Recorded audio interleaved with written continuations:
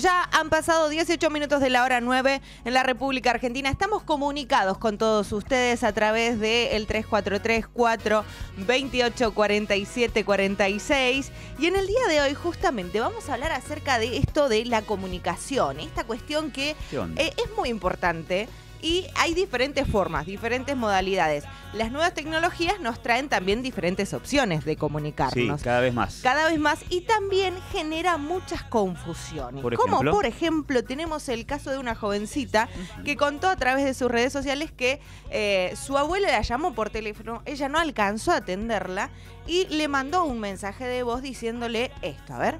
Oh, le digo a mi abuela que no pude atenderla. Hola Lela, ¿qué pasó? No llegué a atenderte.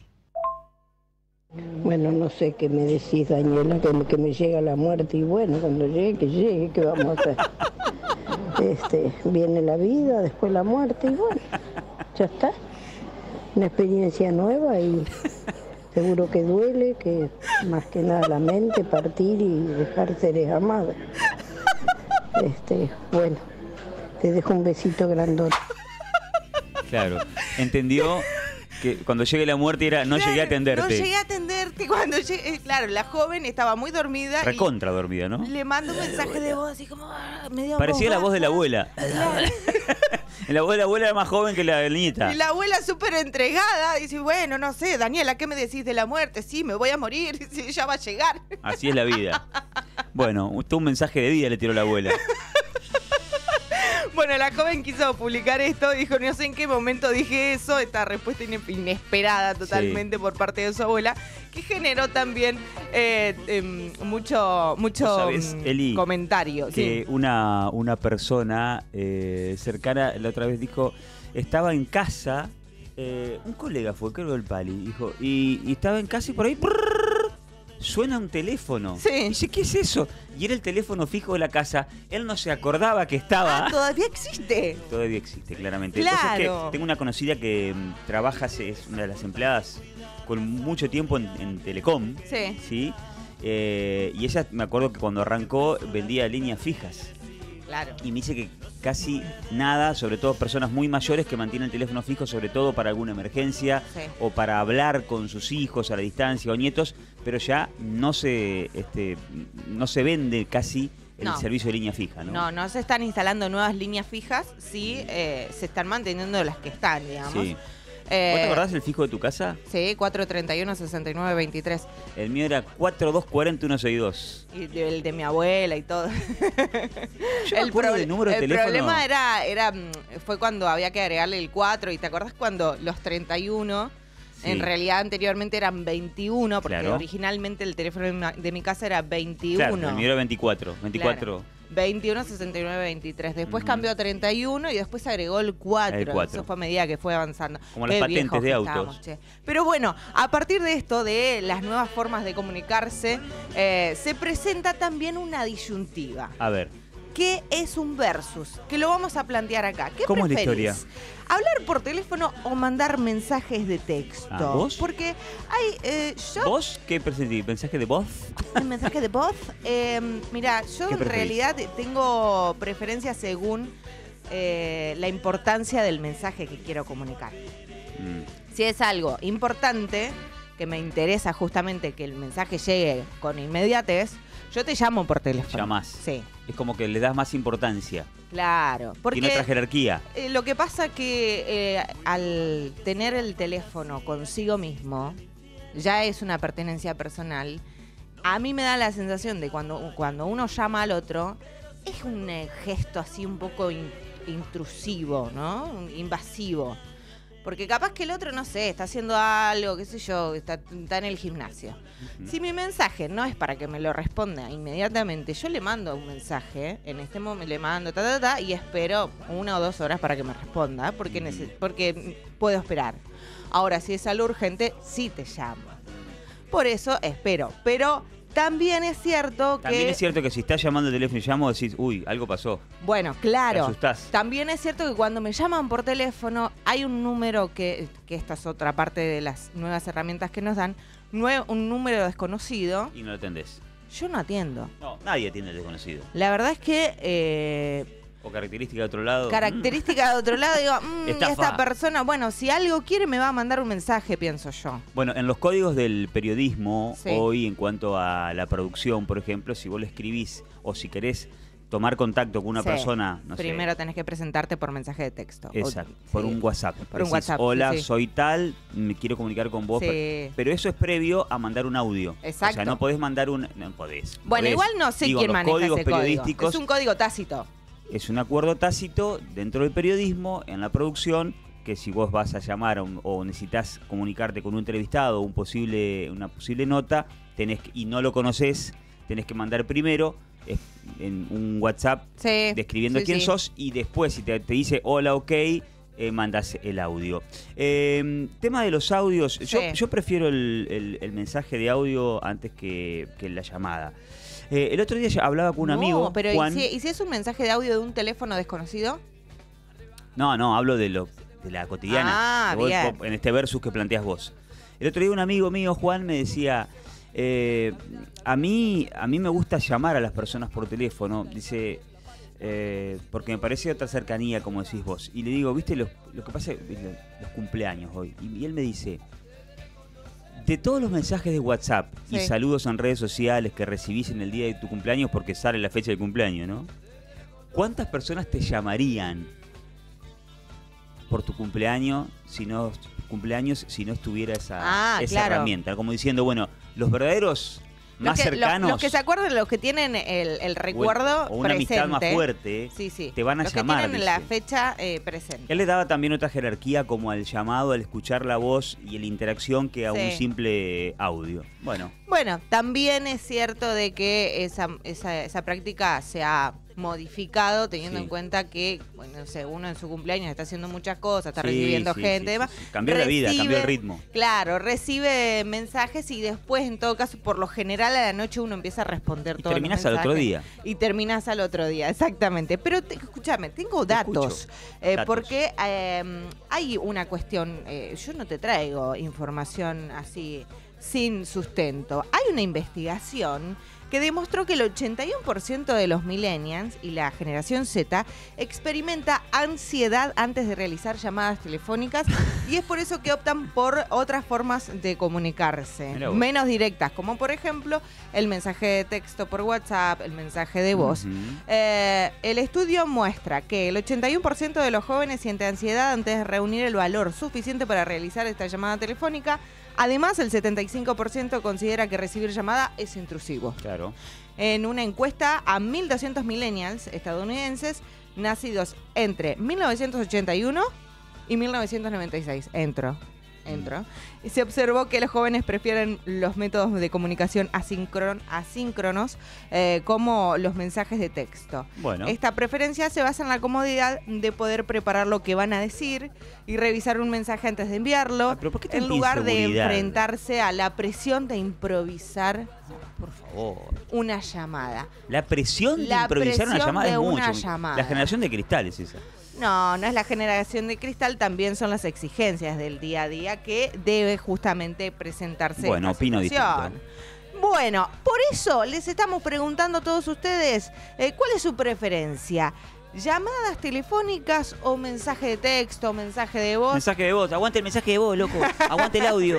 Manden su mensaje de voz al 3434 2847 Y si prefieren el texto, manden el texto. Y si prefieren la llamada, llámenos. bueno, pero vos fíjate, mira, es, es una soncera. Sí. Los programas, Sí, anularon las llamadas telefónicas. acá no tenemos línea fija para llamar. Por no. ejemplo, tenés el comunicarte por en el chat del, del, del YouTube Sí. o mandar el WhatsApp o la voz, el mensaje de voz, a, el audio al, al WhatsApp. Sí. La televisión terminó eso, ¿te acordás? Hola Susana. A que si yo pregunto cuál es el número de Canal 11, Sí, la bueno, mitad de- pero nos llaman para salir al aire. Correcto. Ningún programa saca una llamada al aire salvo una entrevista. Claro. No, no está más el llamado del ¿Y oyente si, al y aire. si hoy sacamos una llamada al aire? 431 3186 interno 2. 25 años eh, llevo- llevaba diciéndolos en el 11. Ahora no decimos más. Interno 2 porque es el del estudio. Bueno, acá Estamos hay- viejos. Acá hay gente que está comentando Eh, tengo algunos números de, de teléfono en la cabeza. Dice 427-0392. Dice, No sé qué es. Bueno, varios mensajes eh, que estamos recibiendo. Reiteramos a nuestra vía 343-428-4746. Lo digo lento para que lo puedan agendar y nos puedan escribir, nos puedan mandar su mensaje de voz o, por qué no, nos puedan llamar. Vamos a ver si los atendemos porque nos da un poco de ansiedad. Contestarme porque claro, de seguro te mareé con mis idas y vueltas, te cansé con mi cámara lenta y aunque trato nunca puedo apurar mi decisión. En el preciso momento en que todo va cambiando para mí, en ese instante te aseguro que alguna señal te di, pero no me escuchaste, tal vez sin intención de tu parte, puede ser un poco débil el sonido de mi voz.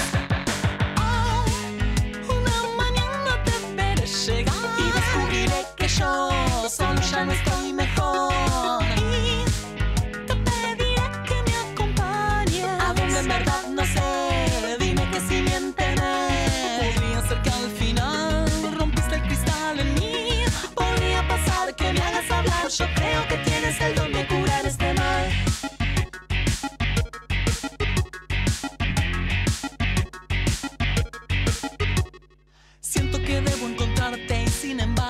paso el tiempo yéndome hacia mí mismo, a mi centro que jamás encontraré. Yo quisiera tenerte y tratarte de modo decente, pero ves que ya no puedo despegar de mi papel. Deberé tranquilizarme y jugar al juego que me propones. Bajo la guardia te recibo y me abrigo de tu piel. El destino me ha dado corazones desequilibrados.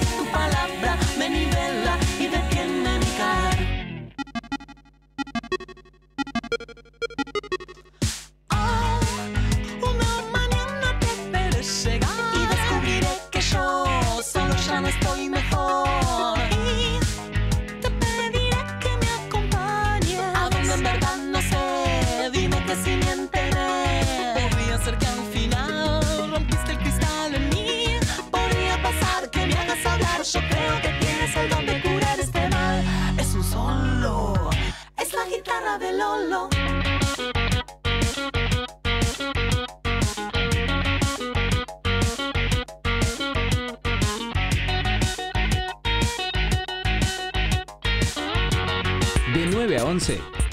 mañana es hermosa.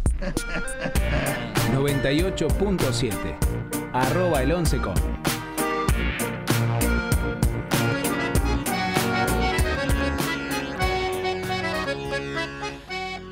Minutos ya pasan de la hora 9 en la República Argentina y vamos a meternos en la información del día de hoy. Lo destacado para recalcar es que se está desarrollando una medida de fuerza por diferentes gremios de la provincia de Entre Ríos que se manifiestan en contra del incremento al aporte jubilatorio. Es un- una decisión en conjunto que se han tomado entre eh, los gremios estatales, tanto docentes como los trabajadores de la administración pública.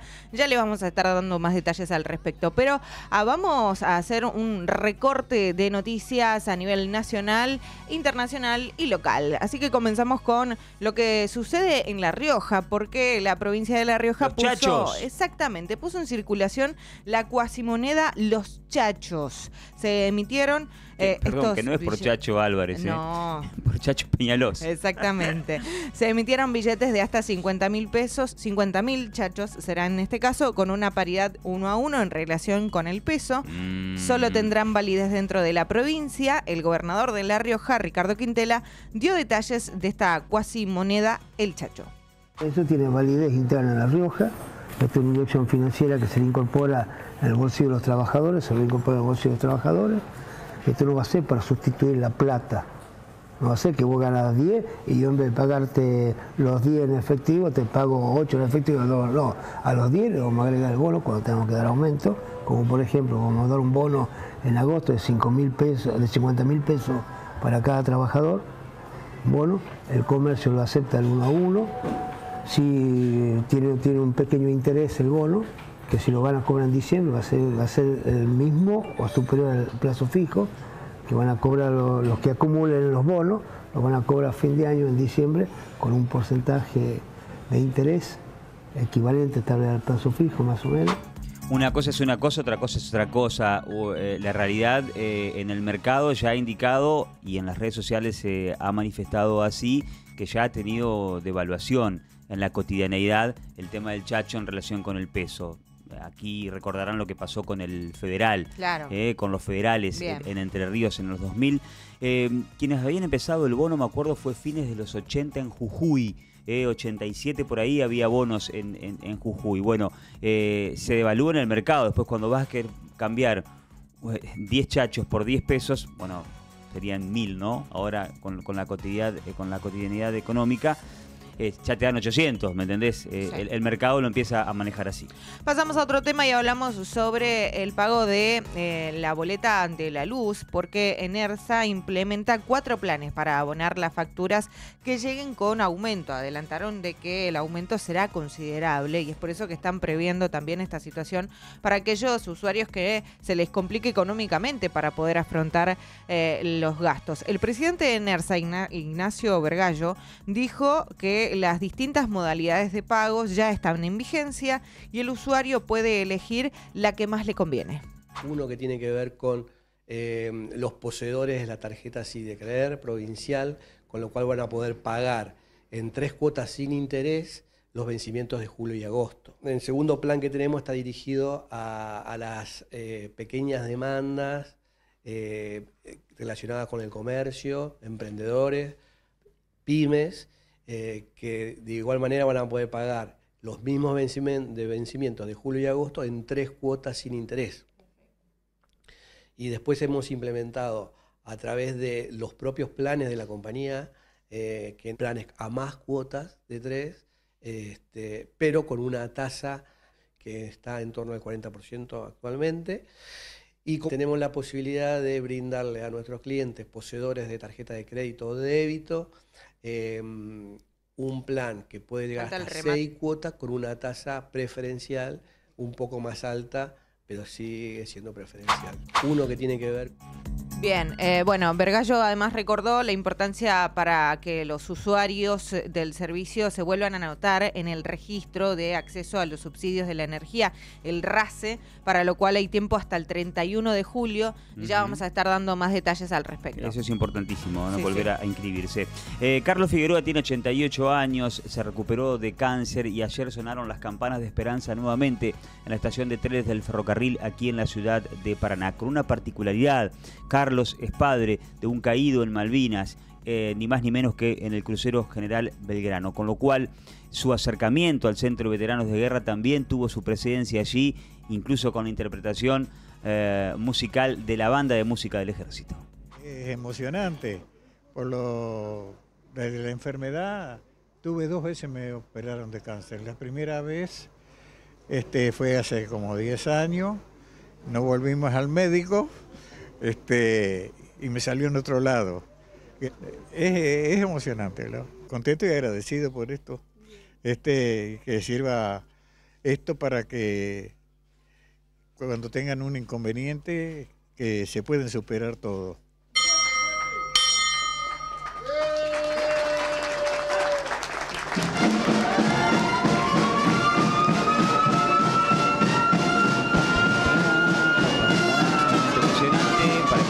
Están viendo el YouTube, el abrazo con familiares, amigos, eh, en este caso lo sucedido ayer al mediodía. Y esta noche a las 22, la pasión del fútbol se vive con la Copa América. Sí. Eli, ¿te preparás para ver el partido? Por supuesto. Muy bien, Argentina y Ecuador juegan hoy, mañana, eh, perdón, el sábado también un partidazo a la noche porque se, cruzan ni más ni menos en cuartos que Uruguay y Brasil. Partidazo en los cuartos Sí. de final, a ver quién desemboca en semifinales. ¿Los eh, cuatro equipos tienen entrenadores argentinos? Claro. Y hay una particularidad también. Eh, tres equipos tienen asistentes de la ciudad de Paraná y zona. Ah, mira. Porque el ratón Ayala es el asistente de Lionel Scaloni Sí. en Argentina. Fernando Alioco, bueno, no en las semifinales, ¿no? Pero en la instancia anterior eh, es el asistente de eh, mm, eh, Néstor Lorenzo. ¿En Y dónde? Eh, en, Lorenzo, en ¿en? Colombia. En Colombia. En- eh, y eh, Carlos González, hombre nacido en Seguí, pero formado futbolísticamente aquí en la ciudad de Paraná, está casado con una con su esposa es de Crespo, Ajá. es el asistente de Gustavo Alfaro Seleccionado de en la selección de Costa Rica. Costa Rica. Eh, así que tres, personas del fútbol paranense de asistentes de los entrenadores. Un, un dato bastante particular. Bueno, pero ¿qué pasa con Messi? Bueno, ¿va de entrada o no? Lo va a esperar hasta el último momento Scaloni, habló en conferencia de prensa. Altera que no juegue Leo, esa es la realidad. Para todo el mundo, no solo a mí. Eh, y intentaremos que esté y después, si no está, eh, buscar lo mejor para el equipo. Eh, pero como siempre decimos, es partido a partido y, y el equipo se conforma el rival y sobre todo el momento que está el rival y donde se le puede eh, hacer daño y, esa siempre fue nuestra, nuestra idea. Es un equipo muy bien trabajado, eh, tiene muy buenos jugadores, un buen entrenador y, y es un equipo de los buenos, de los buenos de la Copa América y que antes de empezar la Copa dije que tenía posibilidades reales de, de poder lucharla y sigo manteniendo que es un gran equipo.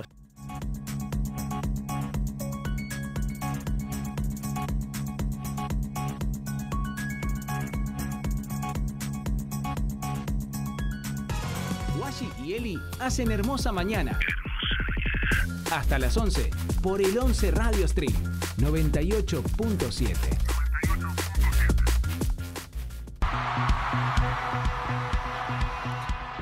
39 minutos, ya pasan de la hora 9 en la República Argentina, 4 Eli. grados una décima, la temperatura en este momento en Paraná, sensación térmica de 2 grados una décima. ¿Sos futbolera, Eli, o no? Eh, Más o menos. Selectiva, Por ejemplo. De, de selección. Ah, ah, selección argentina. Sí, sí, no sí. que seleccionás los partidos. No, no, eh, no, sí me... ¿Te gusta ver la selección? No, me, me gusta ver la selección y me gusta ver los, los mundiales. Sí, está re fuerte esto. Eh, me gusta ver los mundiales y Gracias. me gusta ver Ah, las, de mí. Las, las copas, ah, la, la Copa América. claro. Eh, ahí sí me pongo futbolera Esta noche ves el partido que en, en la cama. A las 22 se juega esta noche. a las 22 desde el sillón de mi casa. Desde el sillón. Sí, siempre, siempre lo O veo. sea que esa es una, una gran grieta, ¿no? Tele en la cama o tele en el living. Yo amo la cama. Me encanta meterme en la cama a ver el partido. O ver películas, a lo que mí, sea. A mí me gusta ver la, la tele en, en- en la cama. Sí. Sí. me encanta, tengo. Pero en este caso, En, en el living. el partido prefiero verlo sentada en el living. Porque me pongo un poco nerviosa. ¿Te pones nerviosa? Sí, Mirá vos. Muy sí, bien. Sí, sí, Che, tenemos eh, gente que nos está mandando su mensaje Dale. al 3434 28 47 46. Nos pueden mandar su mensaje de voz también, Muy bien. participando de la consigna del día de hoy. ¿Cuál es tu preferencia? Llamadas versus mensajes. Eh, tenemos por acá un mensaje, dice Ana, prefiero las llamadas. Me encanta escuchar la voz de la otra persona y sentir la conexión directa. Es más personal y más cercano.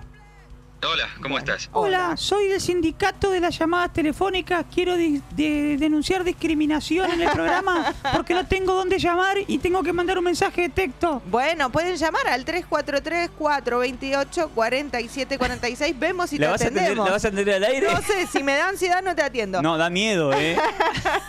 Pedro dice, las llamadas son mi elección especialmente para temas importantes o urgentes. Claro. Nada supera la claridad de una conversación en tiempo real. Vos sabés, Eli, que hablando en términos, en términos televisivos o, o radiales, eh, el tema de la llamada al aire también se fue terminando cuando empezaron a hacer las cargadas, eh, las bromas de mal gusto, Sí. porque vos sacás con, al aire eh, con total libertad a, a quien te llama y si estás en vivo y te comes un insulto o alguna broma de mal gusto, queda mal. Claro. Entonces eso se fue cortando de los sí, medios. es cierto, tenés razón. Eh, los mensajes son lo mío. Puedo compartir fotos, enlaces, hasta usar emojis para expresarme mejor. Son súper prácticos, dice Patricia. Eh, le agrego una arista más a la consigna, no para que opinen, pero o sí, si quieren opinar, Ajá. sí.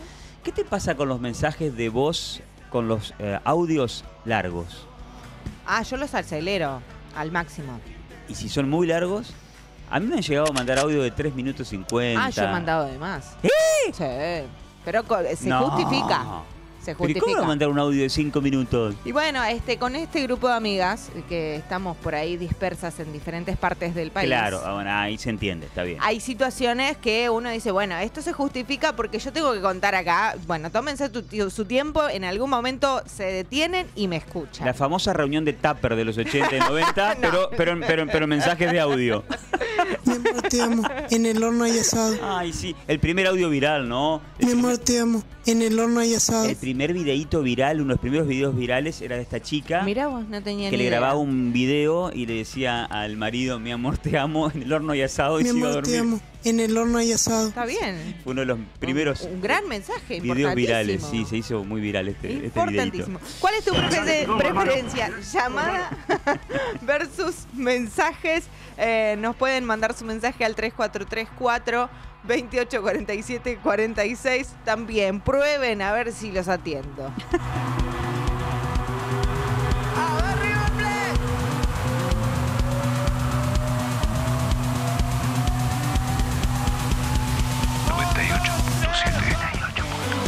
el 11 Radio Street.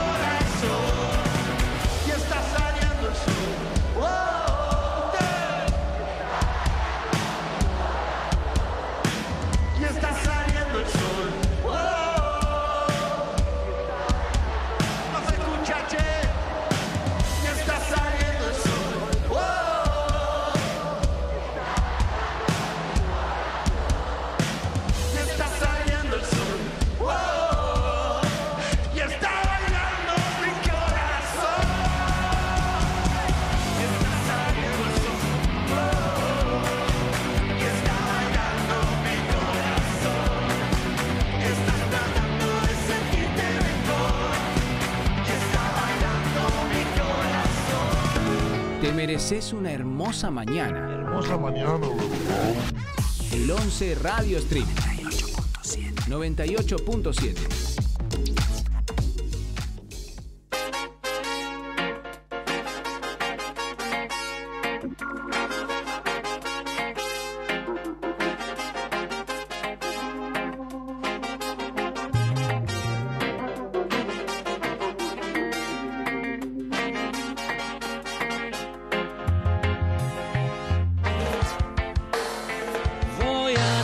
con vos. Pasa un trago para no olvidar.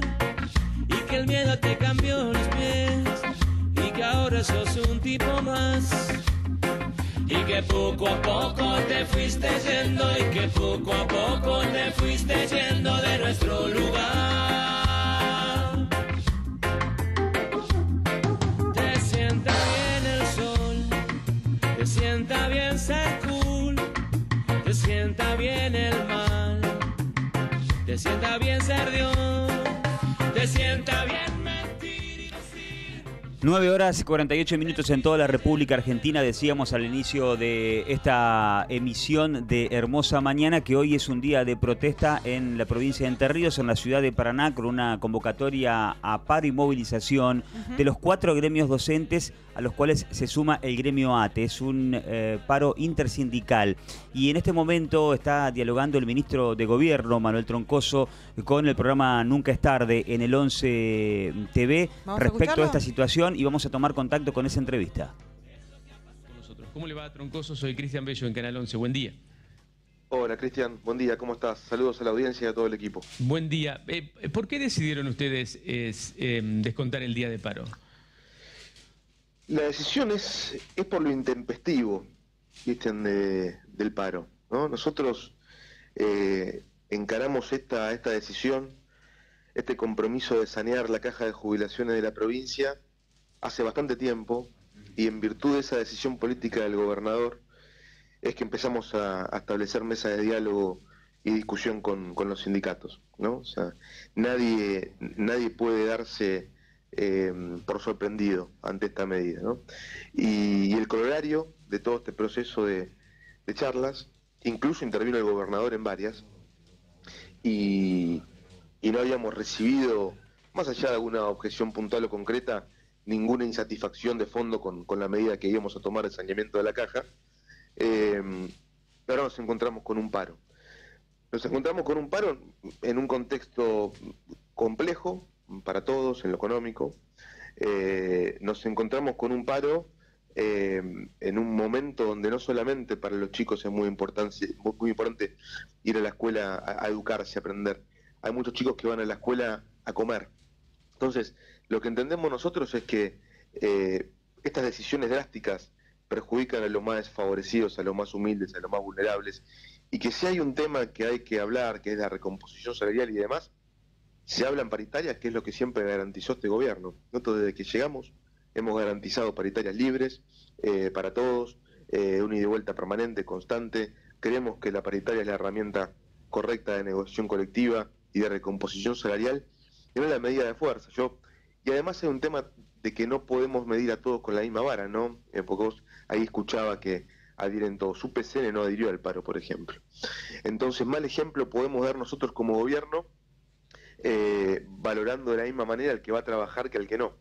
Entonces, bueno, eh, se ha tomado esta medida, esta decisión, y, obviamente esperamos que, que- que se recapacite. ¿no? El- eh, yo entiendo que los trabajadores están haciendo un esfuerzo muy grande, nosotros como Estado también lo estamos haciendo en un momento muy complejo. Este aumento de la alícuota en, eh, de parte de los trabajadores también corresponde a un aumento de la alícuota de parte de las contribuciones patronales que hacemos nosotros como Estado como patronal en este caso por cada trabajador. Entonces, creemos que, lo justo es justo y, no es lo mismo que el que va a trabajar que el que no va.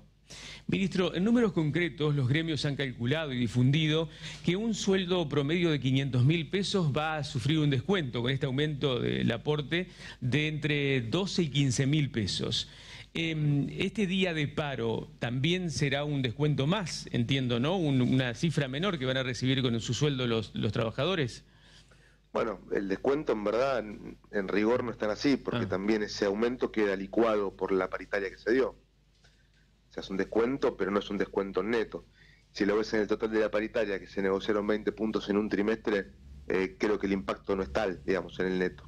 Y mm, sí, sí, no, no sé cuánto implica este día de descuento para los que se ausentan de trabajar, pero, pero se va a descontar. Y, eh, y esto es así, nosotros respetamos el derecho a huelga, es un derecho constitucional, eh, si quieren parar, que, que quiere parar, que pare, pero nosotros también tenemos el derecho de descontar como patronal. Lo- los Eh, gremios dicen, ministro, que la diferencia entre lo que la inflación está marcando, números oficiales, proyectado el mes de junio, y lo que han recibido como aumento es de 20 puntos, 20 puntos abajo, por supuesto.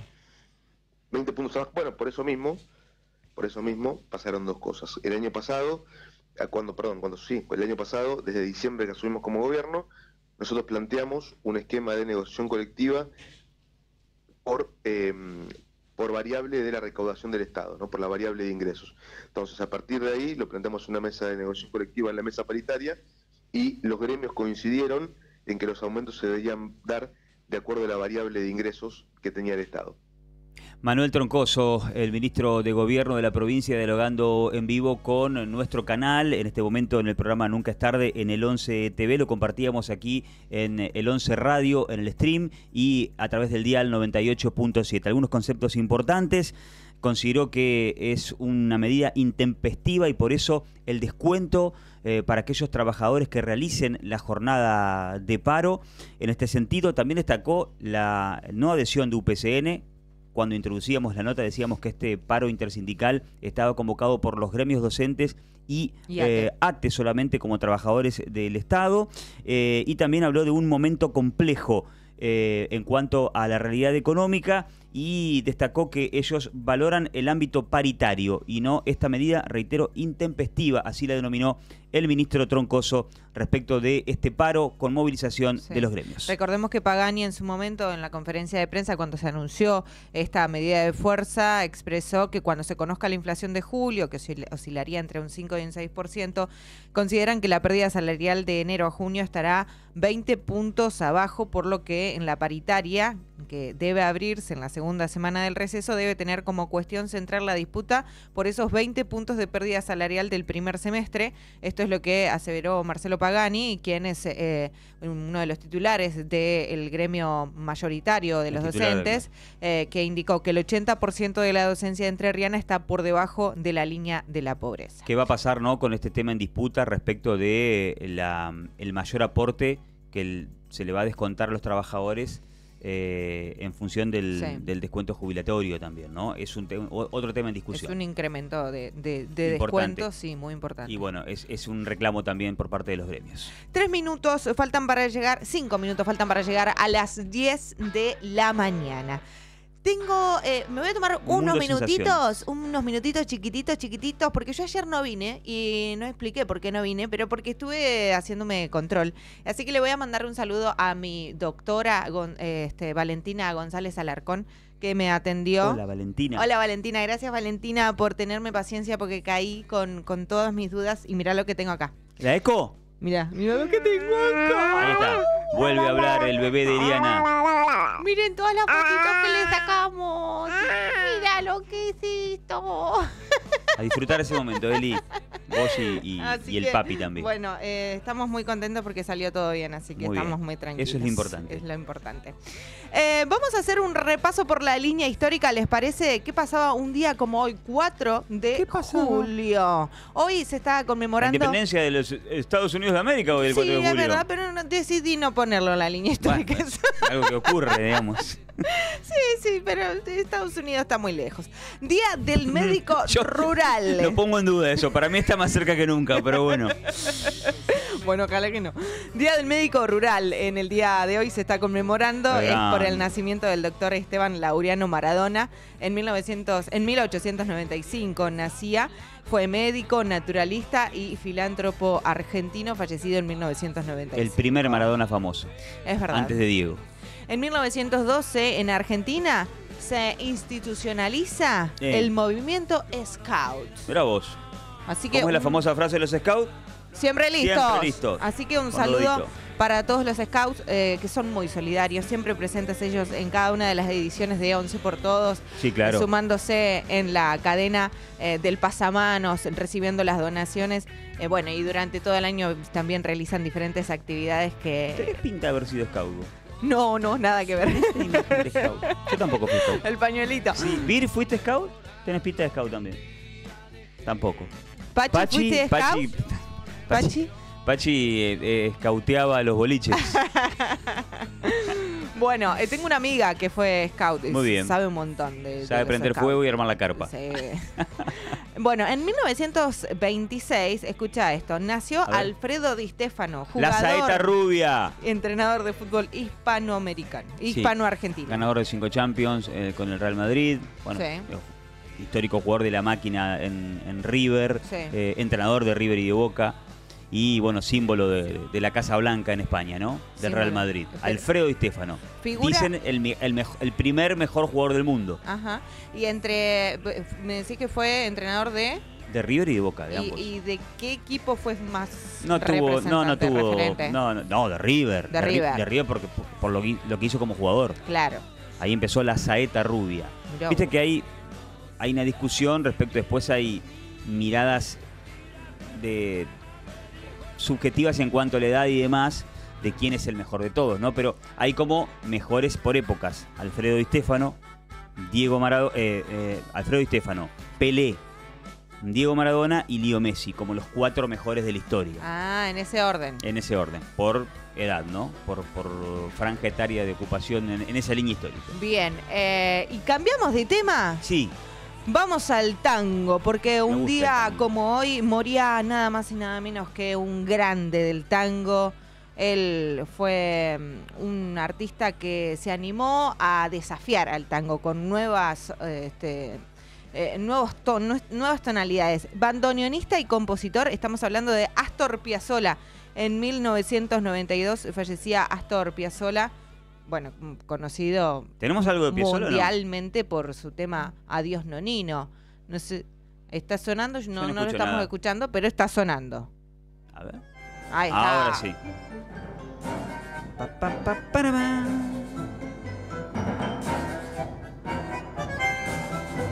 Tema interpretado en todo el mundo. Maravilloso. Instrumental, ¿no? Claramente. Muy criticado cuando comenzó, porque se animó a probar diferentes Rompió moldes. cosas. Sí, sí, sí. El, el tango era un un mundo muy estructurado, Y muy conservador, machista. machista, por También. supuesto, lo sigue siendo. Bueno, pero ha, no, ha cambiado poquito, bastante. pero Sí. Bueno, y nos vamos hasta el año 2015. La selección de fútbol de Chile Chichichi, lelele, gana la Copa América. la Copa América Sí, por contra- primera vez en su historia. ¿Contra, quién? Y contra nosotros. Ay, derrotando por penales a Argentina. Qué tremendo. En el 2015. Exacto. Eh, y también hoy se está conmemorando el Día Nacional de la Convivencia y Pluralidad de las Expresiones Políticas. Mirá vos, qué necesario esto. Conmemorando el mensaje histórico de despedida del extinto presidente de la Nación, general eh, Juan Domingo Perón, pronunciado por el doctor Ricardo Balbín. Muy bien, eh, la famosa historia Perón-Balbín. Bueno, se cumplieron 50 años de, de- de- De su muerte. Exactamente, el Esta lunes semana. fue, ¿no? Sí, sí. Primero de julio, exactamente. sí, sí, sí. Bien, por eso fue la entrevista de Cristina Fernández también, en ese sentido. Bueno, eh, 4 de julio hoy. Un minuto ya pasa de la hora 10 en la República Argentina. Estamos hasta las 11 haciendo hermosa mañana. Comunicate con nosotros al 3434-284746. Te estamos preguntando en la consigna del día de hoy, ¿qué preferís? ¿Llamadas telefónicas o mensajes de texto o de voz? Julieta Venegas, qué buena versión esta tanguera, dale.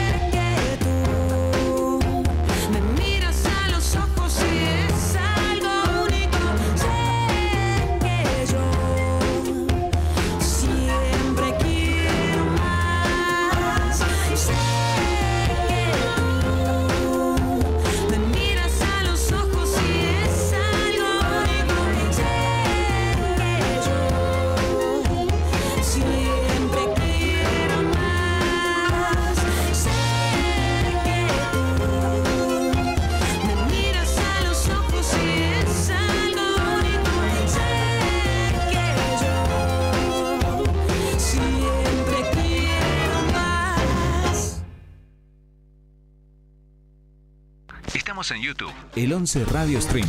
Seguinos. Arroba el 11 com. Arroba el 11 com.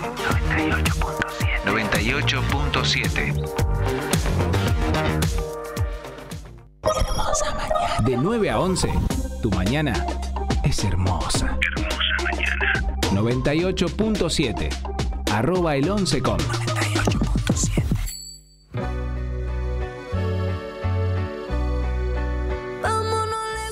ya pasan de la hora 10 en la República Argentina. Estamos al aire por la 98.7. A través de YouTube también nos pueden seguir. Los viewers, los invitamos a que nos acompañen y puedan hacer sus, sus comentarios. También nos pueden contar eh, qué prefieren, llamadas telefónicas o hacer mm, mandar un mensaje de voz. Esa es la consigna del día de hoy al 3434 28 47 46. Y vamos a abordar, vamos a detenernos sobre un tema de, eh, de seguridad vial, porque se conoció un fallo en el día de ayer por parte de eh, la Corte Suprema que es eh, algo llamativo y que tiene que ver con el uso eh, obligatorio del cinturón de seguridad, la Corte Suprema confirmó la constitucionalidad del uso del cinturón de seguridad, rechazando así la apelación de un hombre que fue multado, quien argumentó que estando solo en su auto no afectaba a terceros. Este litigio comenzó en el año 2014, imagínense hace cuánto es que se está debatiendo, eh, cuando Diego Garay fue detenido en un control de tránsito en Mendoza y multado por no usar cinturón. Garay lo que argumentó fue que eh, la ley violaba su derecho a la privacidad, ya que su acción no afectaba a terceros. Pero la justicia finalmente, ayer se conoció esta información, argumentó que el uso de cinturón previene riesgos a terceros en caso de accidente, ya que la falta de, eh, del correaje de- de- de- del uso del cinturón puede aumentar la probabilidad de perder el control del vehículo y causar daños a otros. Además, también im- implica, si en el caso de que necesite atención médica o internación, implica gastos del Estado en el momento en el que sea atendido y es por eso que se decidió tomar como constitucional este la obligatoriedad del uso del cinturón de seguridad. Esa misma discusión se dio con el uso del casco en la moto en su momento. Sí, Con gente que decía, exactamente. "Eh, ¿qué, ti- qué tiene que ver? Yo no- Yo puedo hacer lo que quiera, es mi mi, vida. es mi vida. Sí, sí, bueno. Bueno, y a partir de esto, bueno, convocamos a un especialista. Él es Gonzalo Leiva, licenciado en accidentología vial Hola, y también instructor de educación vial. ¿Cómo estás? Bienvenido a Hermosa Mañana. ¿Qué tal? Buenos días. Bueno, muchas gracias por la invitación y acá estamos para eh, contribuir en lo, en lo que podamos a la, a la seguridad vial. Yo entiendo la, la función de la defensa de, esta persona y querer zafar la multa y bueno y el litigio con la justicia, pero resulta casi una obviedad hablar de estas cosas. Me parece que increíble que en el 2024 estemos hablando de, de- del uso del cinturón de seguridad, Gonzalo. Sí, porque es parte de, de nuestra cultura de siempre oponernos a, a lo que nos exigen. ¿sí? Es un modelo cultural que tenemos de, de- de siempre estar en contra de que nos exijan o viendo la legitimidad de las normas, de que sí está bien que a mí me exijan, porque al otro, porque el Estado, porque el funcionario. Ahora qué voluntad, ¿no? De llevar todo esto hasta, Este- hasta la Corte Suprema. Sí, por una, por una infracción, pero bueno, eh, está bueno que se haya llegado a este punto en que la Corte se pronuncie y, Sí. y deje en claro que el uso del cinturón, en este caso en particular, va más allá de la decisión de uno y de, de las consecuencias para uno mismo, sino que la Corte lo que, lo que puso de manifiesto es, que, es que el no uso del cinturón puede implicar un riesgo a terceros. ¿sí? ¿Por qué? Porque uno, eh, al no ir correctamente sujeto en el vehículo, en el caso de tener un accidente, un siniestro vial o de tener una... Una descompensación Sí, también. claro, ahí puede hacer que uno pierda el, el dominio del vehículo y eh, genere un daño a otro. Y en un choque, si hay otra persona, eh, al no estar sujeto, uno puede con su cuerpo en el, en el desplazamiento dañar a otra persona. Y un punto que, que comentaba Washington recién es que todo lo que sean eh, hechos que suceden en la vía pública y que generan consecuencias en la salud de la persona, es el Estado el que tiene que atender Claro, esa sí, emergencia. sí. ¿sí? Y es el Estado el que tiene que correr con eh, esos gastos y eh, obviamente que con el uso adecuado de- de- del cinturón de seguridad las consecuencias se eh, reducen.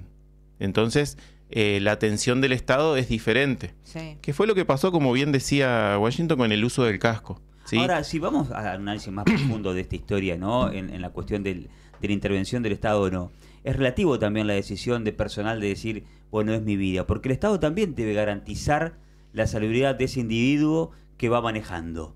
Es decir, bueno, también tiene que, más allá de los costos y los gastos, decir, bueno, el Estado también te tiene que cuidar y decir, no, tenés que usar el, el- el cinturón de seguridad porque te va a salvar la vida. Sí, el, el valor principal siempre es la vida. Claro. Sí, el valor principal siempre es la vida, la, la integridad física, el, el- el derecho al, al bienestar, a la salud. Muy bien. No, y además, bueno, si ese punto de vista no, no termina convenciendo, quizás eh, por este lado podríamos convencerlo a este, a este hombre de Mendoza, eh, Diego Garay, que la, eh, el seguro no te cubre si vos no estás con el cinturón También de es cierto. seguridad. Sí, hoy en día las compañías de seguro cuestionan de que eh, si la persona involucrada en un siniestro, eh, las lesiones que tuvo fueron a causa de no haber usado el cinturón Ah, o de no haber usado el, casco. Eh, sí, obviamente que las compañías de seguro siempre buscan la forma Claro. de, De no pagar. de no pagar o de pagar lo menos posible. Pero sí es, es un argumento. Eh, el tema es que, que nosotros estamos lejos de, de entender, eh, nosotros como, como sociedad, digo en general, lejos de entender la finalidad de las normas. Ajá. ¿sí? A, a ese punto quiero ir. Eh, nosotros tenemos muy, a ver, muy metido dentro de nosotros que la consecuencia de, de no cumplir una norma la multa. es que vamos a ser sancionados o Claro. podemos ser sancionados. Entonces cumplimos para evitar la sanción. No tenemos internalizado de que la norma nos obliga, por ejemplo, en este caso, a usar el cinturón o a usar el casco en el caso de las motos para protegernos, para cuidarnos. Y que hay toda una cuestión empírica, o sea, de, de experiencias, de estudios, de cosas que ya pasaron y que demostraron de que es necesario que sea obligatorio usar el, el casco y el cinturón. ¿sí? No es una cuestión antojadiza o Sí. caprichosa. Yo, a- aún 2024, hoy yo sigo viendo en la calle personas que manejan con su hijo eh, al volante o con un niño sentado en el asiento de atrás mirándote por la luneta, o sea, eh, sin cinturón de seguridad, o en el asiento de adelante siendo menor, sin cinto muchas veces. Sí, a mí me, a mí me pasa personalmente que cuando voy de acompañante, eh, mi auto no, no tiene el, el- El pip. Claro, este, la sirena esta que se te enciende eh, para colocarse el, el- cinturón. Sí tiene para el conductor nada más, Claro. para los acompañantes no.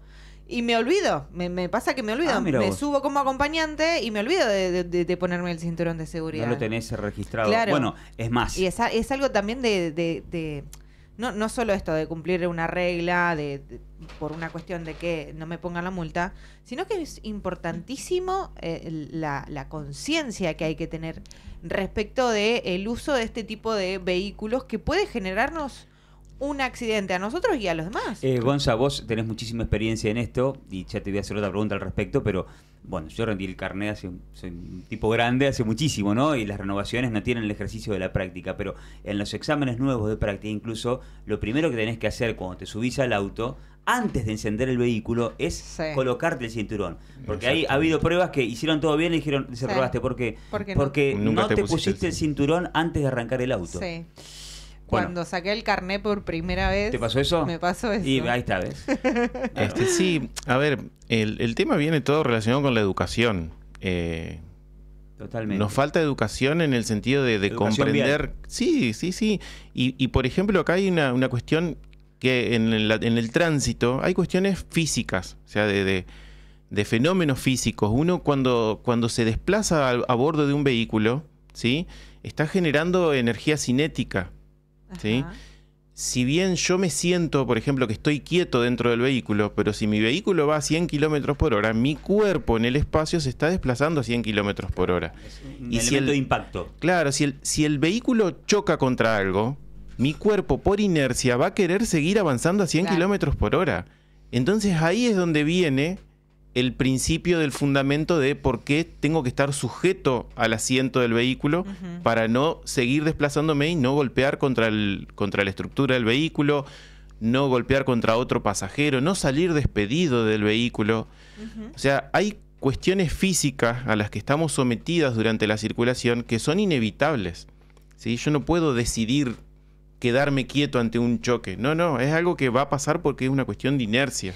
Eh, Gonzalo es instructor de educación vial. Eh, cuando uno va a sacar el carnet eh, por primera vez, tiene que hacer un- una serie de, Tiene que pasar una serie de, de instancias. Una de ellas, justamente, es, es presenciar la clase de educación, ¿no? De educación vial. Y en ese caso, ¿cuáles son las preguntas que se, se presentan que quizás te han llamado la atención por parte de la gente que va? A ver, a mí lo que más me llama la atención es cuando hablamos sobre esto de el para qué están las normas y, cuál es la importancia de las normas, cuáles son las consecuencias de incumplir las normas, de que eh, yo arranco la clase siempre haciéndole una pregunta a la gente que es em, ¿para qué están las normas? Y la primera respuesta que obtengo de la mayoría es que las normas están para cumplirlas. ¿Sí? A lo cual yo digo, y sí, si son normas es porque están para cumplirlas. Sí. Educación cívica. Pero, claro, pero es como que eso me demuestra la contradicción que nosotros tenemos como sociedad, porque nosotros sabemos que las normas están para cumplirlas. Pero si uno mira lo que pasa en la calle, Mm. Están más Es para como- infringirlas. Claro, es como que nos olvidamos de ese concepto que tenemos de que las normas están para cumplirlas, porque nosotros en la calle después lo que vemos es que cada uno tiene la potestad de elegir si cumplir o no cumplir, cuándo cumplir, hasta dónde cumplir, cómo cumplir. Sí. Eh, otra Y le cosa. echan la culpa a los controles. Bueno, deberían controlar más. Sí. Por ejemplo, en, en el Claro. repaso, en el repaso de un cuestionario que nosotros vamos haciendo, una de las preguntas es eh, si se puede utilizar el celular mientras se conduce. Ajá. Y es Realmente una de las no, digamos, pero- pocas respuestas que, que contestan todos a coro que no, que está prohibido, que no se puede usar el celular. O sea, como que están convencidos de que está mal usar el celular. Sí, Y es lo que más se hace. es lo que más se usa. Exacto. Entonces, eso me demuestra a mí lo contradictorios que somos. O sea, sabemos, sabemos que está mal hacer algo, sin embargo lo hacemos. Gonza, tengo una pregunta de, de una oyente y, Dale, y- meta. y te va a interesar, Eli, en este caso por tu situación. Dice. Ah, a ver, me- me a ver si escribe una amiga. lo mismo que a mí, Dice, también que me para las, pasa". em- para las embarazadas, dice, hay una manera de ponerse el cinturón. Mirá. Dice, he visto bien por debajo de la panza y bien por arriba. ¿Le podés consultar? Eso quería saber yo, porque la verdad es que eh, por ahora tengo poca panza, pero se siente algo de molestia. Sí, sí. Sí, el- el- es importante que el, el cinturón pase por debajo de la panza y que toque los huesos de la, de la cadera. Ah, ¿Sí? mira vos. Porque es la parte más resistente. O sea, la- el cinturón te tiene que sostener desde las partes duras del cuerpo, no desde las partes blandas.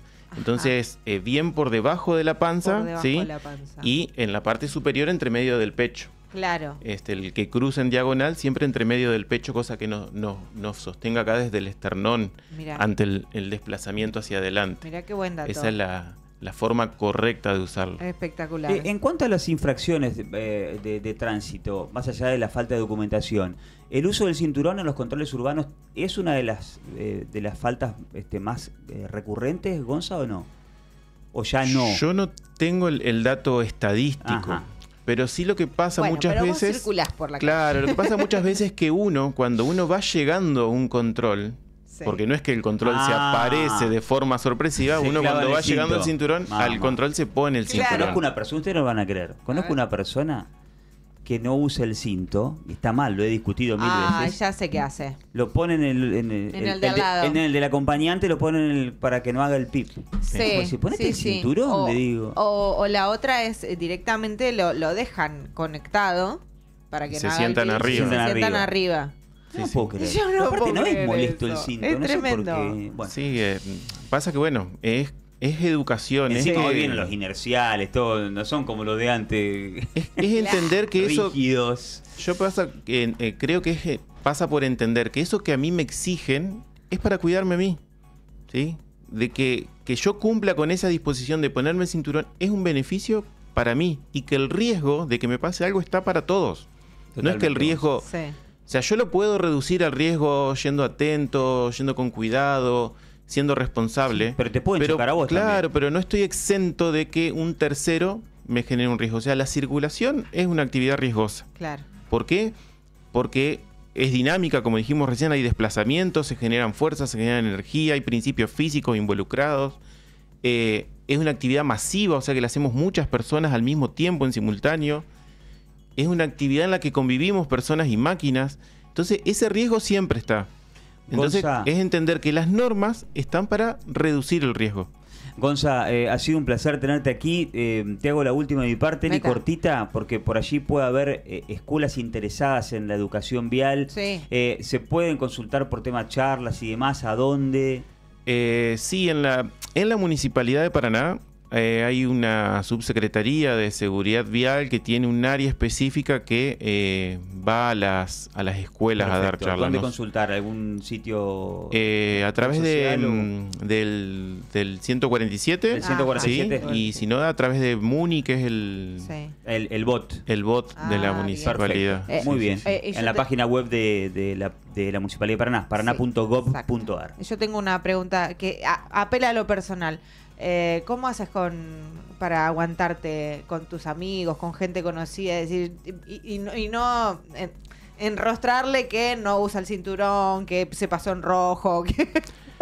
No, bueno, a ver. ¿Sos de esos pesados que No. están todo el tiempo marcando? No, yo, yo sí lo que le marco a, a conocidos, eh, bueno, hoy en mi rol de, de- de padre, es cuando veo a, a- a mamás de hijos, de compañeros de mis hijos, que, que los llevan a los chicos en la moto con el casco sin abrochar, por ejemplo. Ah, Le digo, che, claro. abrocharle el casco.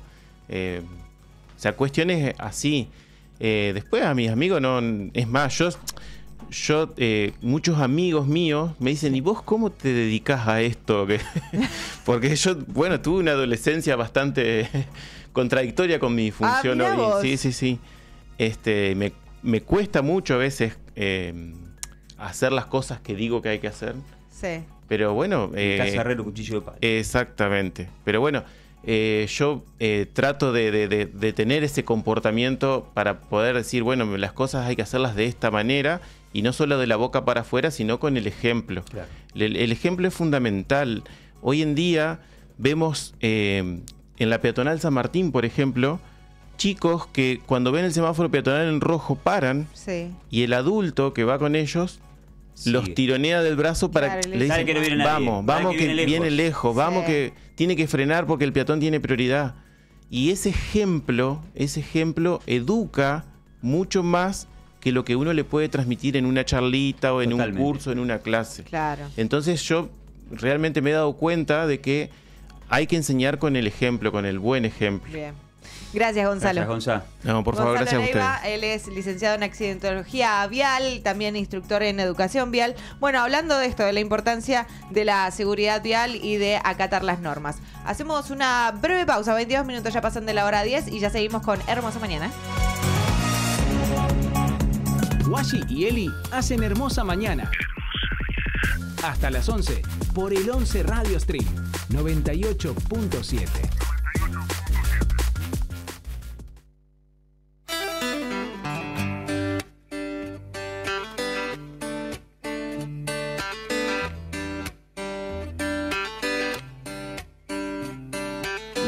celular con diamantes de muchos quilates para impresionar.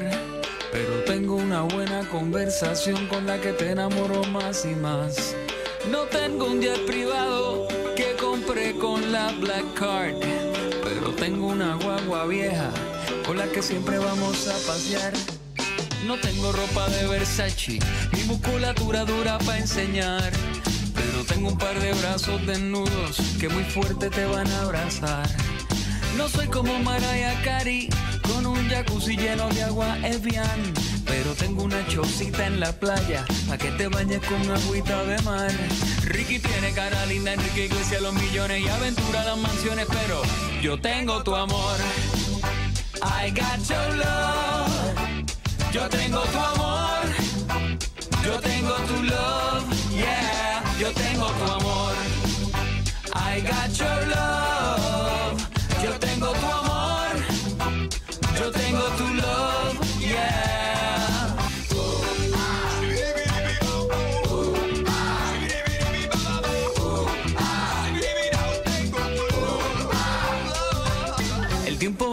Que un Rolex y el amor más que un table dance. El amigo más que un peso en el bolsillo como el que tú acabas de gastar. Hablar vale más que un iPhone y más cuando alguien te quiere escuchar. Saber vale más que el diploma como el que tú acabas de marcar. Mi Mi compromiso vale más que el anillo. No hay palabras si no hay corazón. El silencio vale más que un grito cuando el grito, el grito no es por amor. Tu mirada vale más que el oro y enseñarte vale más que un tabú. Y aunque pueda tenerlo todo, todo, nunca hay nada si me faltas tú. 25 minutos ya pasan de la hora 10 en la República Argentina. Hasta las 11 estamos haciendo Hermosa Mañana por la 987. Por YouTube nos pueden buscar como arroba el 11com. Allí estamos en el 11 Radio Stream acompañándolos a todos ustedes. Recuerden que en la consigna del día de hoy les estamos preguntando qué prefieren, hacer llamadas telefónicas o mandar un mensaje de texto o de voz. Ese es el versus del día.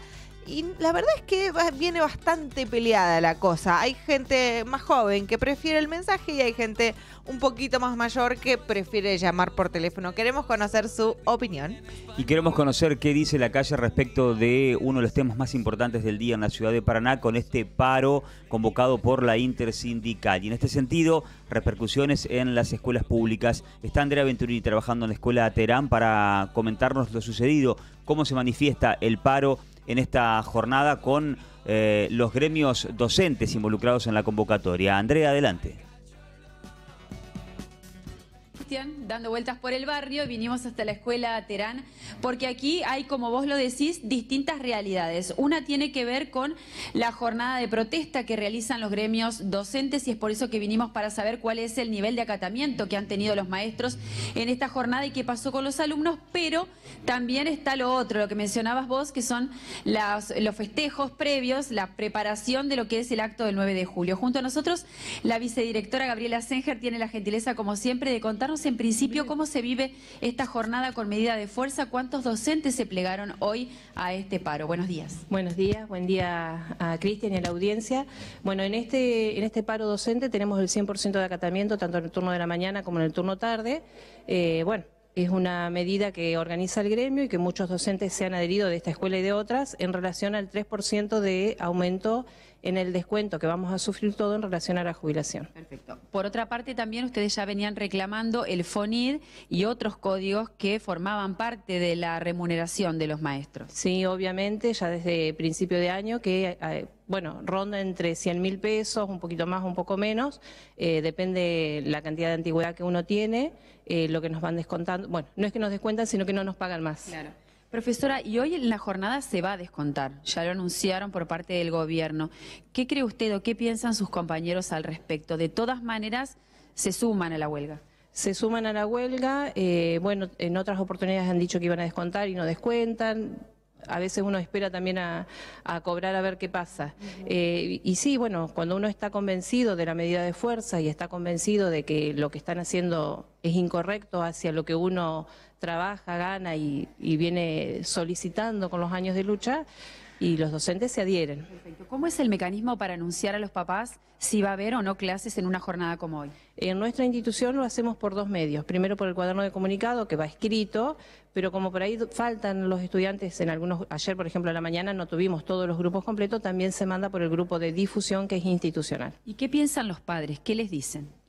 Bueno, siempre tenés eh, papás que están a favor de la lucha y comprenden eh, que esto es un trabajo eh, amoroso porque uno está trabajando con niños, no está trabajando con objetos, pero también el docente vive de su sueldo, de su salario.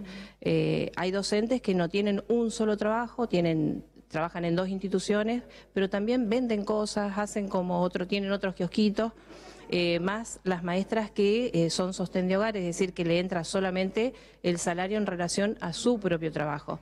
Nosotros tenemos docentes que eh, vienen del interior, es decir, que salen tres y media, cuatro de la mañana y vuelven a su hogar dos o tres de la tarde, eh, por el mismo monto de remuneración, ¿no?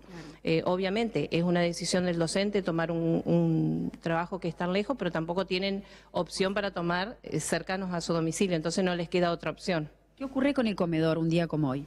Eh, bueno, nosotros siempre informamos a los papás que el comedor está abierto, siempre, ya es una cuestión institucional, ellos ya lo saben, eh, y a veces vienen como siempre los mismos, ya sabemos quiénes van a venir. Eh, y también ya estamos organizando el comedor para los días de receso invernal. Eh, bueno, en esta oportunidad tenemos 25 estudiantes inscriptos para las dos semanas de vacaciones. De un total habitual de cuántos chicos vienen durante el año. y aproximadamente 280 300 tenemos por día. ¿Y es vianda o es presencial el comedor durante las vacaciones de invierno? El comedor es- se cocina, es presencial, sí, sí, se da comida elaborada. Profesora, muchas gracias. A ustedes, a ustedes. Está con nosotros también la directora de la Escuela Terán. Le vamos a pedir un pantallazo de lo que ha sido este primer semestre y si este año ustedes han tenido mayor ingreso de chicos. Bueno, buenos días a toda la audiencia. Sí, hay un movimiento permanente eh, de, de estudiantes. Nosotros aproximadamente siempre tenemos entre 550, 600 la matrícula que se va todo, todos los años nos sucede lo mismo, es, no es fija, se va moviendo. Este, sí, hay ingresos, a, a principio de año se vio esto que ingresan de- ingresaron de algunas privadas con esa... mm, ese miedo que se tenía en cuanto al aumento de cuotas y demás, bueno, ingresaron unos cuantos chicos de eh, instituciones privadas. Y otra consulta tiene que ver con el rol que cumplen los directores en una jornada como hoy, donde hay una medida de fuerza, si ustedes tienen que informar que docentes vinieron o no, o cuál es la modalidad. Bueno, eh, siempre se solicita de departamental de escuelas este, el porcentaje, ¿sí? Porcentaje de acatamiento uno envía, pero en algunos paros, en algunas oportunidades, se recuerda la circular que está en vigencia, donde uno tiene que cargar en el sistema SAGE este, con nombre y apellido, persona por persona. Profesora, muchas gracias, muy amable. No, ya gracias. está Cristian, vamos a anticipar algo que es importante porque es Bien. la jornada del 9 de julio para los... Hay dos actos que son... Ahí escuchábamos la palabra del testimonio de los docentes de la escuela Terán Exacto. respecto del acatamiento de, del paro del día de hoy. ¿Tenemos otro móvil que no alcancé a escuchar? ¿Sí? Vamos a tomar, bueno, tomamos contacto con otro móvil. Eh, bueno, tengo una información para complementar respecto, ya que la docente hacía mención allí al descuento eh, del día de paro, lo que ha anunciado el gobierno de la provincia. Sí. Eh, se ha confirmado el pago del sueldo anual complementario, el aguinaldo, para el, eh, lo que es la administración pública provincial Ujú. correspondiente al primer semestre del 2024. Sí. Eh, el cronograma arranca el jueves 11. Sí. ¿sí? Eh, el jueves 11 de julio, es decir, la semana que viene. Jueves 11 de julio, eh, desde 001 hasta mm, pesos hasta 290 mil pesos. Eh, va a continuar el viernes 12 de julio con eh, aguinaldos que van desde 290 mil un pesos hasta 400 mil pesos y va a finalizar el sábado 13 de julio Ajá. con eh, haberes correspondiente al aguinaldo eh, con más de 400 mil un pesos. Bien, seguimos con la información de actualidad. Tomamos contacto con otro de nuestros móviles. Se está desarrollando la concentración de los manifestantes en el marco de esta medida de fuerza. Tomamos con eh, contacto con Damián Malatesta. Adelante. echando trabajadores del Estado. Defender el sistema previsional, la caja nuestra, a pesar de que nos digan de que intentan buscar equilibrio, nosotros entendemos que hay mucho déficit, que el déficit no lo producimos los trabajadores y trabajadoras, siguen ajustando hacia nosotros, lo dijimos y lo vamos a seguir reafirmando. Hoy son tres puntos más, tres puntos que sean 16 a 19. El problema es si en seis meses más no tenemos déficit, ¿cuál va a ser la situación? Necesitamos también parar con el ajuste de los trabajadores porque vamos a sentarnos a negociar salario a partir del 18 de junio, de julio, y seguramente el planteamiento del gobierno va a ser uno. Nosotros decimos, necesitamos recuperar los 20 puntos que perdimos el primer semestre. Empezamos el mes de julio con tres puntos abajo, quiere decir que tenemos deflación total a partir de las definiciones que es el descuento del aporte personal. Estamos en una situación difícil, pero vamos a ir plantear con mucha claridad, argumento nos sobra, porque el gobierno ya dijo que está bajando la recaudación, que no la recuperación económica no es como la habían previsto, eso quiere decir que ya están preparando para que el ofrecimiento sea la baja. Ahora, ¿qué pensamiento despierta la decisión del gobierno de ratificar el descuento por este día de paro? No es la primera vez que nos pasa, los otros gobiernos han, hecho exactamente lo mismo. Cuando eran oposición, eh, apoyaban los trabajadores y trabajadoras el justo reclamo que hacían y que hacíamos. Cuando hoy son oposición y antes eran oficialistas, hacían exactamente los mismos del gobierno anterior.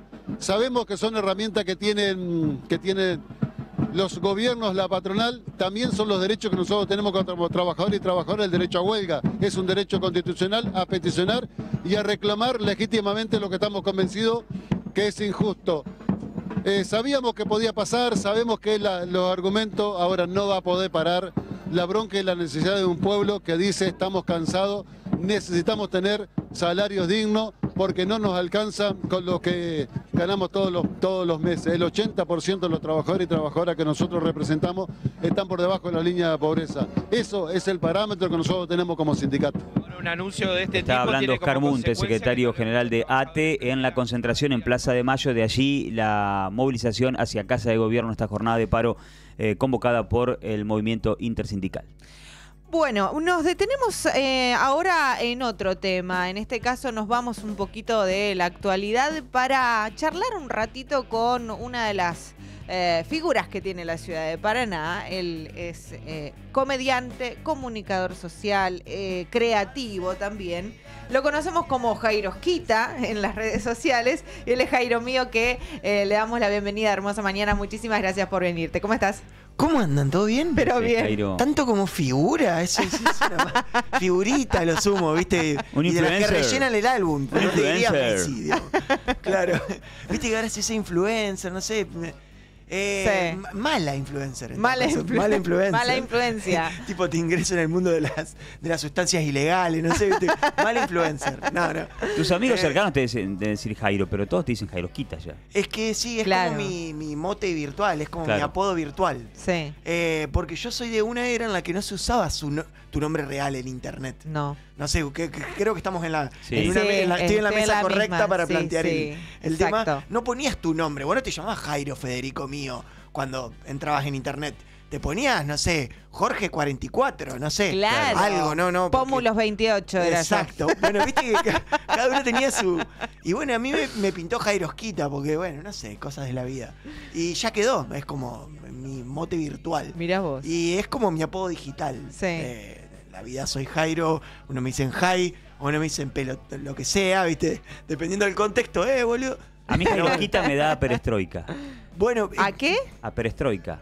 eh, viene, viene por ahí, tiene que ver con. Movimiento ruso. Tiene que ver con. Rusia, aunque no lo creas. Ah, ahí está, A ver. Eh, porque yo jugaba mucho a, a un jueguito de fútbol cuando era, cuando era chico. Sí. Y como yo tenía la Play en mi casa y mis amigos no, yo era muy bueno y mis amigos no. Claro, lógica. obvio. El dueño de la Eh, pelota claro, virtual. Era, exacto, el dueño de la pelota virtual. Sí. Entonces jugaba, jugaba con, ya con equipos muy falopa porque para ver si me, me hacían partido. Sí. Entonces jugaba con Rusia. Y el juego en un momento cuando yo ponía un jugador relataba tipo, Jairovskita, decía. Mirá.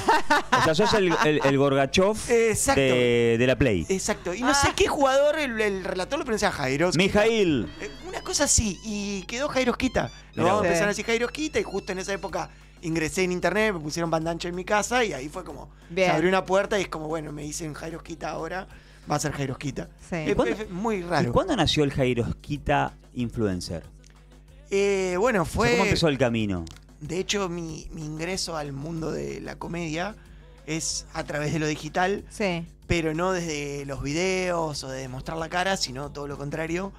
Eh, yo ingresé a través de lo que se conoce ahora como microblogging, que era escribía chistes cortos en, en Facebook. Sí. Sí. Cuando no había otras Escritos. redes sociales, sí, eh, cosas que se me ocurrían, chistes los escribía ahí. Y bueno, de tanto, de tanto escribir, de tanto escribir, obviamente de manera intuitiva, o sea, es, como, che, esto me parece gracioso, se lo voy a contar al mundo. Eh, en ese contar eh, me di cuenta de que había una dinámica que me divertía, que le, Sí. divertía a la gente que me seguía. También eh, en ese momento armé mi página de Facebook. Eh, Viste que Página de Facebook, uno Claro. que- pa- parece que está hablando de hace un millón de años y Bueno, no te, fue te cuento que hace dos días cerró ICQ. bueno, es- o sea, estoy hablando de hace 10 años atrás, Sí. más o menos. Em, La fanpage. la fanpage, La exacto. fanpage. Y bueno, y ahí empecé a, a acumular seguidores, gente que le gustaba lo que yo escribía.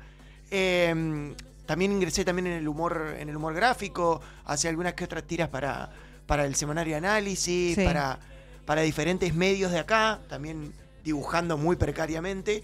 Entonces ingresé al, al- al mundo del influencer desde, desde Facebook. Y después, bueno, me pasé de ahí a Twitter, Claro. de ahí a Instagram. Y, Bueno, y vamos a detenernos porque tenemos un eh, extracto, un fragmento eh, tuyo en el que vos comentás cómo...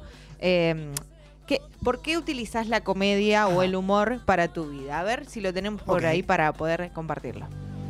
En un mundo donde los sueños se en la mezclan con la realidad, la hay historias que y trascienden en el hormonas tiempo. hacen ebullición.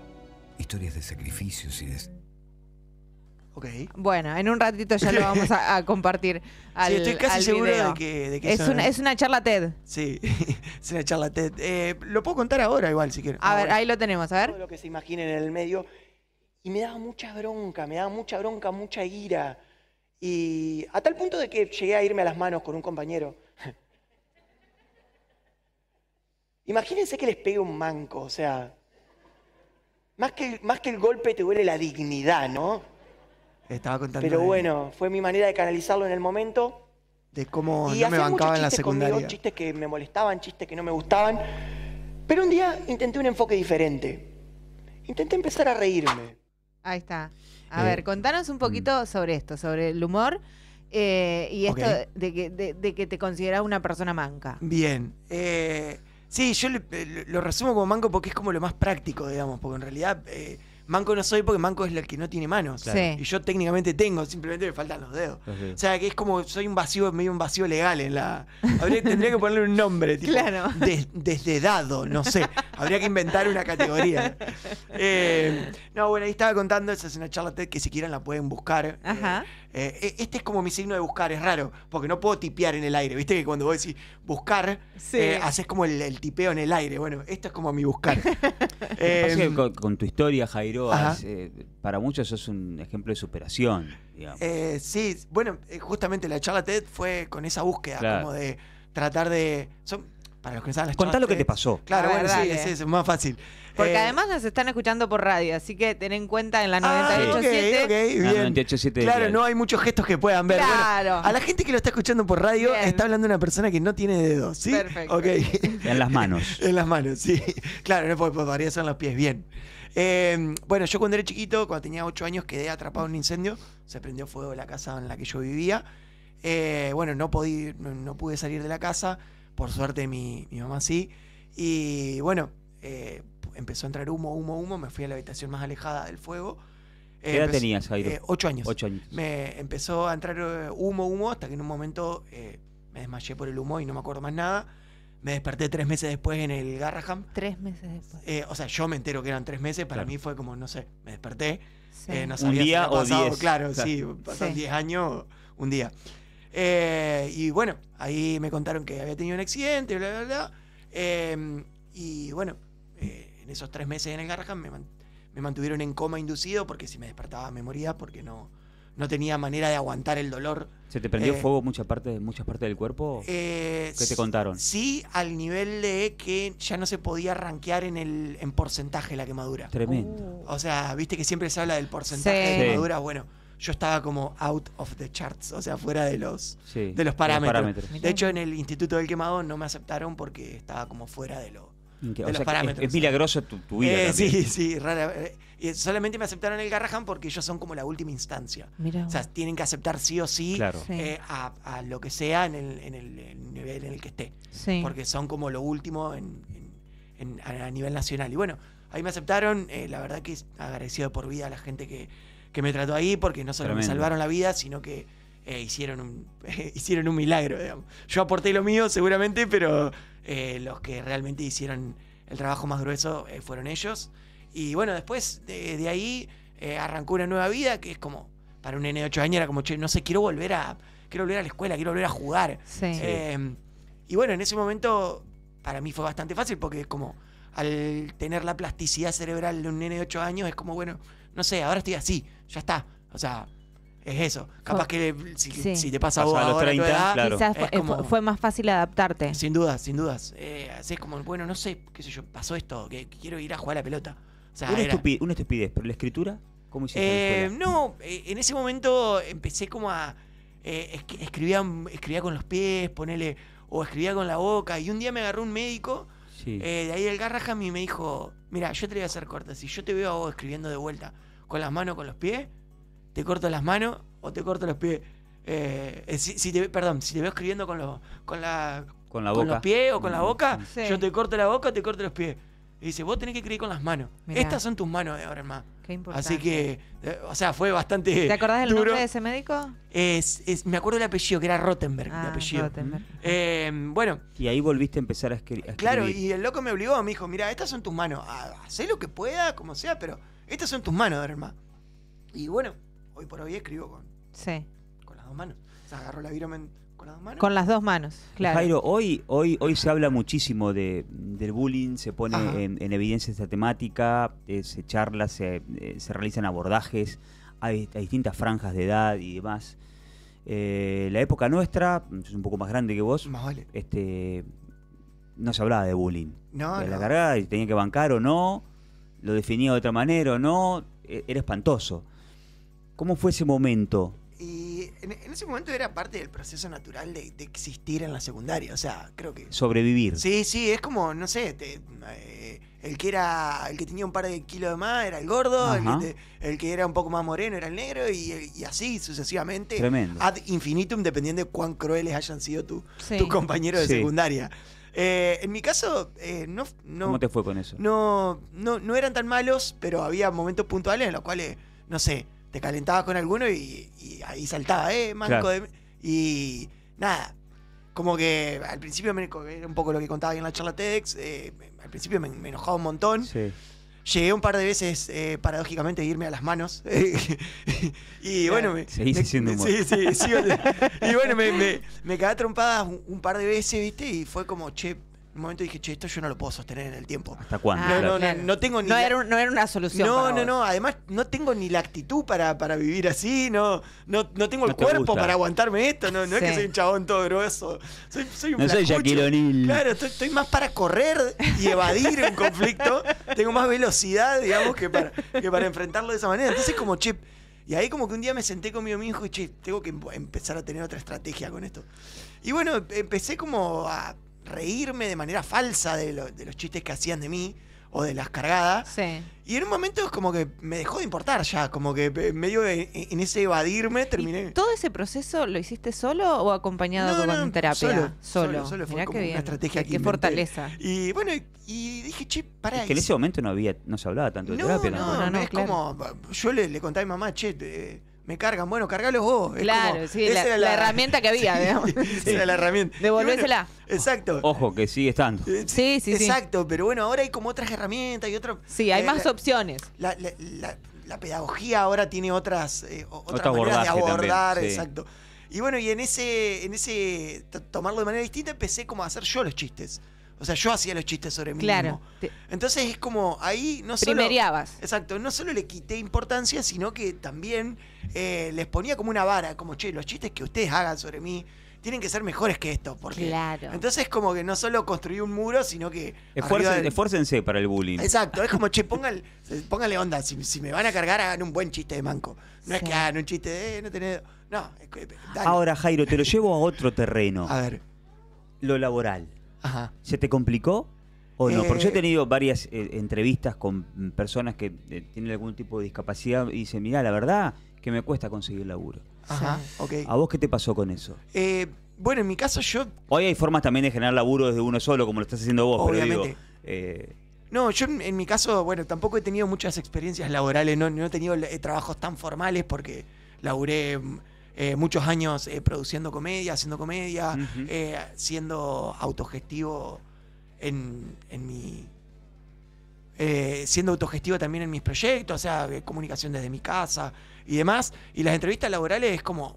Yo siempre traté de llevarlo a segundo plano, o sea, muestro de que realmente, en mi caso, es una Sí. cuestión estética. O sea, yo me encargo de que sea una cuestión estética. No, no, no tengo ningún problema, uso una computadora. Sí. eh, de hecho, me vine manejando, o sea, manejo auto. eh, yo me encargo de que sea una estética, pero fue una, una, una, una voluntad mía de tratar de que sea algo estético nomás. Vos sabés que a mí me- pasó a- eh, una, una anécdota personal. Me Ajá. pasó algo particular con, con tu humor que a mí me, me daba eh, impresión. Que, que vos eh, hagas tanto humor con tus manos. Ok.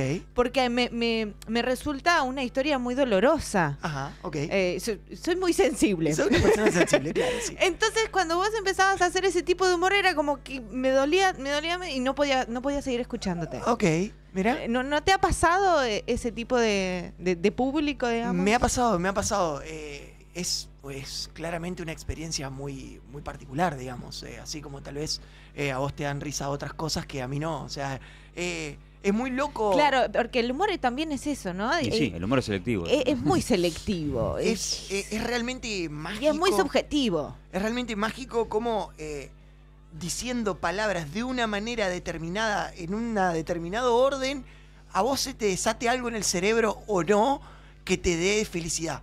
O sea, es muy loco. Eh, el, el- el proceso semiótico que hay detrás de hacer un chiste que te genere lo que yo espero que a vos te genere. Tal Claro. cual. Pero a veces eso no se da, Sí. digamos, y, y no hay nada malo en mí ni tampoco en vos. Yo sé que ese chiste que yo hice funciona porque lo he hecho ante otros públicos y de hecho probablemente la gente que estaba alrededor tuyo se estaba riendo. Claro, y, sí, sí. y es re loco. Eh, y capaz que en otros chistes vos sí te reías y el resto de la gente era como, bueno, no, no, no me da tanta risa. esto.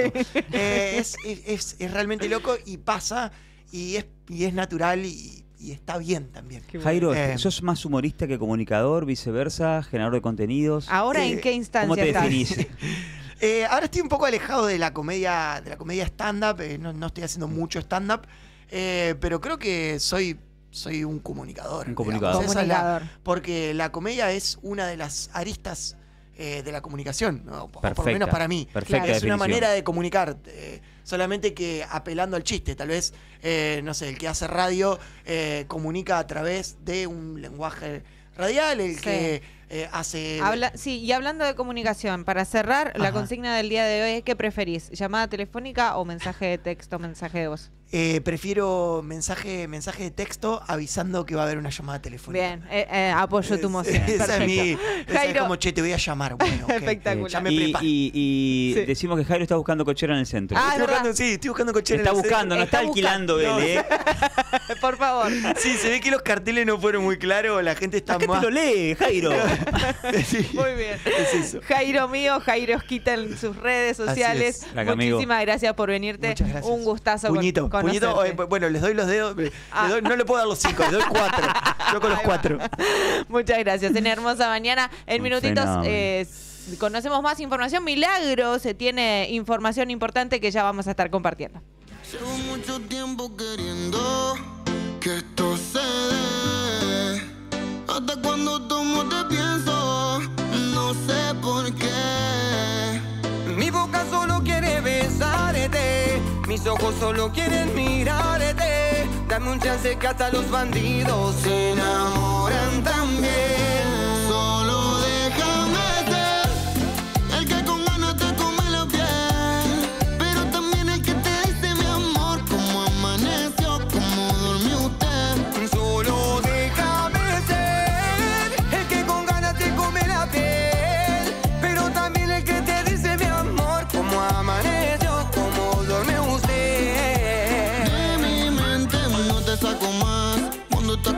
cuando trago te tomas.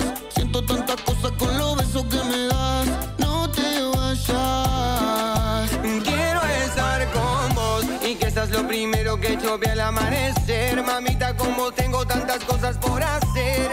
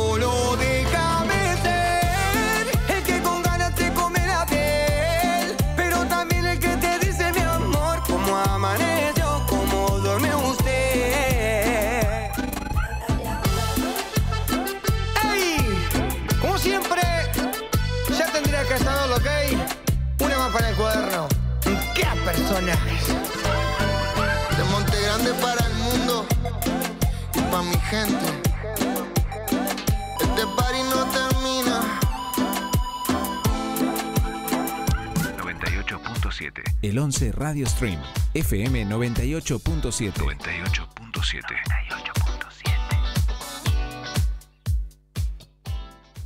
Washi y Eli hacen hermosa mañana.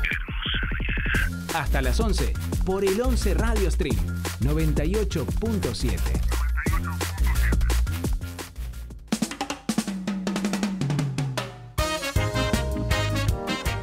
Seis minutos faltan para llegar a las 11 de la mañana y rápidamente vamos a actualizar información porque esta tarde en Alcaraz se va a estar realizando una movilización al cumplirse un mes de la desaparición de Enrique Fabiani.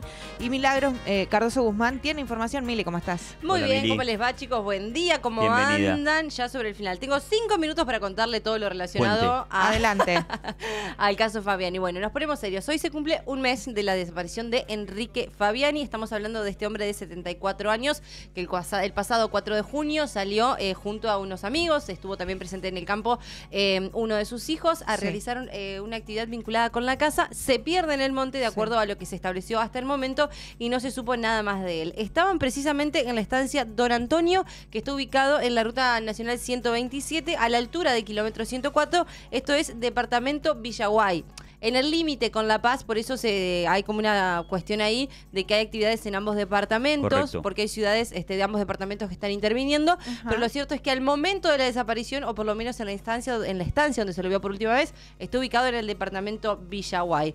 Bueno, el último dato que se tiene de su paradero lo brindó justamente Julio Lodi, quien en la medianoche de ese 4 de junio habría escuchado ruidos en, interme- en intermediaciones de su casa, en su estancia.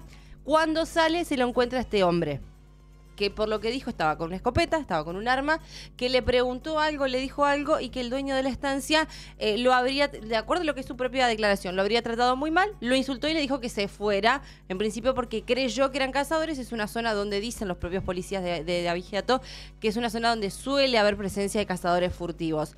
Después de esto, él habría llamado justamente a Vigeato, que se hizo presente eh, más tarde, eh, de acuerdo a lo que establecen cámaras de seguridad, entre las dos y media y las cuatro y media de la mañana, para buscarlo. Nunca lo encontraron. Nunca pudieron dar eh, el, paradero con él. Y en torno a esto es que su familia, sus hijas sobre todo, con quien hemos dialogado muchas veces con Melina, eh, dieron declaraciones eh, en torno a algunas eh, re- algunos requerimientos que tienen ellos para con la justicia. Hay un testimonio de unas personas también que lo vieron. Sí, un maquinista. Un maquinista dice que lo vio caminando por la zona. La propia hija dice que tenía algunos problemas y que solía desorientarse. Pero lo vieron de- eh, eh, diurno, Sí, de día. de día. Y este episodio con Lodi fue a la noche. Y este episodio con Lodi fue a la noche. Por eso, de alguna manera, se cae esta posibilidad de que haya sucedido o de que. lo- porque la, la propia familia dice que la teoría que ellos manejaban en principio es que quizás Lodi lo había atacado o quizás Lodi lo había confundido con un cazador y le habría disparado. Lodi dijo que no tenía armas.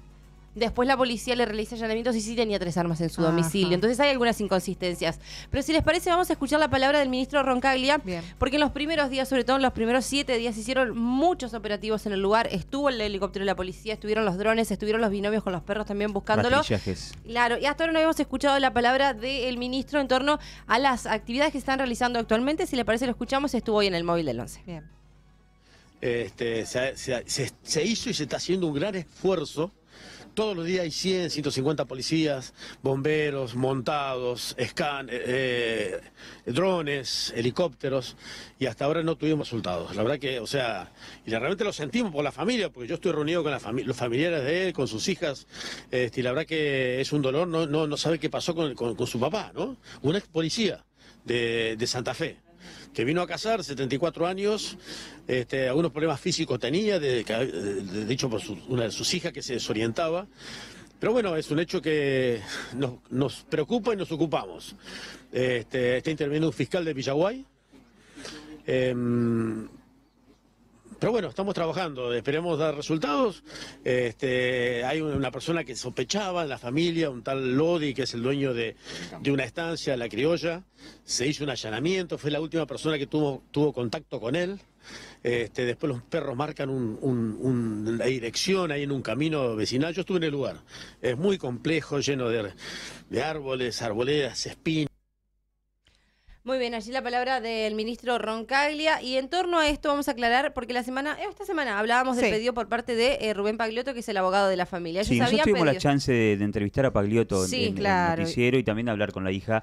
Y bueno, incluso la polémica de que Bullrich no la había atendido y demás. Sí, hay una cuestión con, bueno, un reclamo por un lado a Patricia Burrich. Esto tiene que ver específicamente con una actividad que se realizó en provincia de Santa Fe, en la localidad de Coronda. Porque ellos son santafesinos. la Claro, Pagliotto, Fabiani. eh, un ex policía de Santa Fe lo decía recién Roncaglia. Eh, Pagliotto fue muy crítico en el principio, en comienzos de esta semana, que incluso había dicho, si para el jueves no hay novedades, ellos iban a solicitar que la policía se apartar. Sí. Yo- el abogado puede solicitar, después es la justicia Sí. quien define. Sí. Iban a pedir la intervención por parte de la gendarmería. Gendarmería.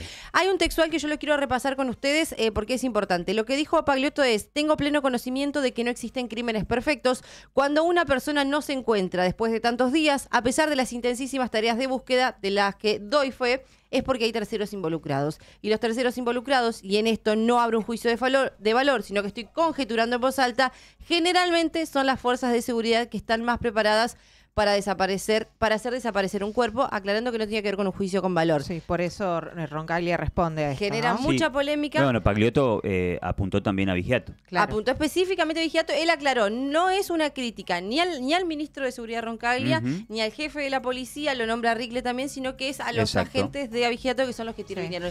Si la, les parece... La movilización hoy, Eso. perdón, tiene que ver con eh, concentración en el arco, el ingreso al Alcaraz y después eh, ir caminando, ¿no? Sí, pero si te parece, primero escuchamos la palabra de- del ministro Roncaglia que le responde justamente a Pagliotto. A Pagliotto. No responde, sino que aclara estas cuestiones. La- la- la- algunos familiares dejaron entrever una sospecha sobre la policía rural. O sea, este, fue, la policía rural fue, acudió al llamado de, de Lodi, fue al lugar, cuatro, cuatro integrantes del servicio de, de la policía rural estuvieron mirando porque pensaron que era un cazador furtivo, que es común en esa zona. Pero bueno, no hay indicio que insinúa que pudieron haber participado en connivencia con Lodi. Desde mi punto de vista, yo creo que no. Se ha inspeccionado la camioneta, los integrantes, los cuatro integrantes del servicio de la, rural entregaron sus teléfonos, se está trabajando. Me llamó la atención la palabra del, abogado de la familia diciendo que, que si que la policía se especializa en hacer desaparecer personas. La verdad que es fuerte decir eso, ¿no? O que la policía está preparada para actos criminales o actos delictivos. Yo no creo que, que es así, no es así. Al menos en estos tiempos democráticos. Este, y de decir que la policía está preparada para hacer desaparecer personas, está muy equivocado este hombre. Pero bueno, lo dice en un contexto de, la defensa de. No sé, defensa, ¿no? Porque no hay, no hay delito. eh, acompañando a la familia en la búsqueda de, este señor, que lo queremos encontrar. Escuchábamos la palabra del ministro de Seguridad y Justicia de la provincia de Entre Ríos. Bien, no es una defensa todavía porque no hay un delito, no tienen, digamos, no tienen, no hay ni acusaciones, ni, ni defensas, la ni búsqueda de querellas una persona todavía. desaparecida. Es la búsqueda de una persona desaparecida, se cumplen hoy, eh, eh, ya se cumple hoy un mes, es por eso que va a haber movilizaciones. Lo que dijo la familia es la concentración va a ser 14.30 en Alcaraz, Alcaraz, que si bien es Departamento de La Paz, por una cuestión de cercanía, la movilización va a ser ahí. Lo que dice la familia es que le organizaron los propios vecinos de Alcaraz pidiendo que se esclarezca este caso, los invitan a participar y por supuesto van a estar allí y se van a trasladar, como lo decía Guayi recién, hacia Villaguay. Esto será a partir de las 14.30 horas y el 11 va a tener una cobertura exclusiva. Milagros Cardoso Guzmán, muchas gracias. Hasta mañana. Hasta mañana. mañana, Mili. Dos minutos ya pasan de la hora 11, 8 grados una décima la temperatura en Paraná, 5 grados la sensación térmica. Guayi, nosotros tenemos que despedirnos. Beso grande para todos y los esperamos mañana. Mañana, como siempre, haciendo hermosa mañana.